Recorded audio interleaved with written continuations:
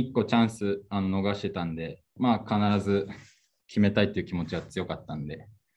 あの陽介君はああいうパス出してくれるっていうのはあの分かってたんで、あの信じて走って、ファーストタッチがうまくいったんで、あとは流し込むだけでした。振っていくことを本当意識してて、なんで前半のチャンスちょっとあの気持ちよく振って相手に当てちゃったんで、まあもうちょっと相手を見ながら冷静にやれたらよかったんですけど、まあ、意識としては、あの、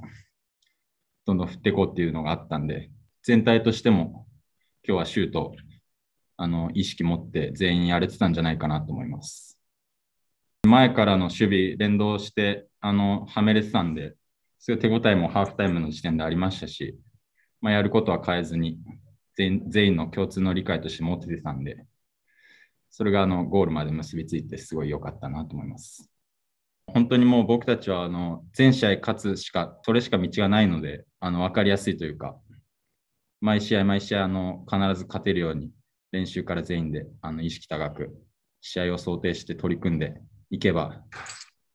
まあ、このチームのこのあの選手が揃っていれば、